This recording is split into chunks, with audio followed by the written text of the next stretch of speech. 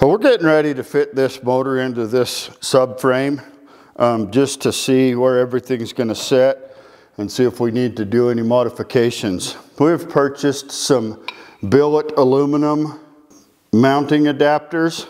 So the first thing that we're going to do is we're going to pull these factory motor mounts off.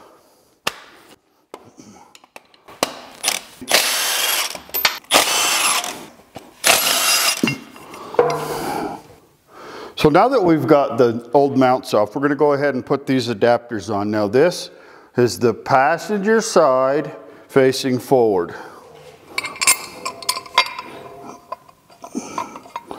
And we've got four bolts that they gave us from the manufacturer. And we'll put these on.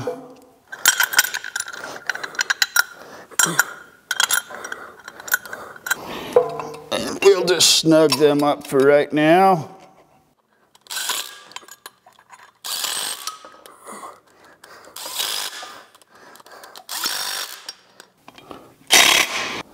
So we're going to do the same thing on the other side and then we're going to set this down and start to bolt the mounts up. I've already got the mounts setting in the frame. So we had to pull the mounts back off of the frame so that we could clear this bracket right here.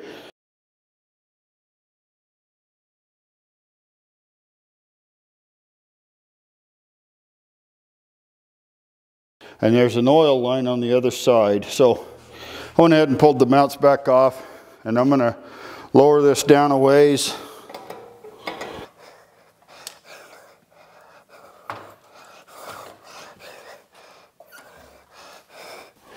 And then I'm going to try and set these mounts back in there and see. We may have to mount these mounts to the engine before we set it in here.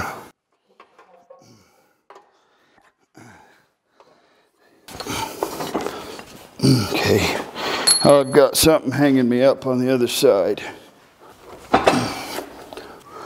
So we had to pull our bracket back off of this side and clearance this part of the block just a little bit. Now this is where the vacuum pump mounts when they use it supercharged. Um, and since we're not going to use that, it's not that big of a deal to, for us to go ahead and move that out of the way. So I'm going to go ahead and put this bracket back on. We had to clearance this to make a uh, room for the motor mounts. So I'll put this bracket back on and then we're gonna go ahead and, and put the motor mounts on it. One of the things that I wanna talk to you about just a little bit is the fact that I brought this frame in to do this engine mock-up has saved me a lot of stress already because had I been in the engine compartment trying to bolt this up when I realized that we didn't have clearance, I would have been very frustrated and pulling things in and out of the car. Where with this, I can mock everything up and make sure that it's going to fit before I start putting the engine into the car.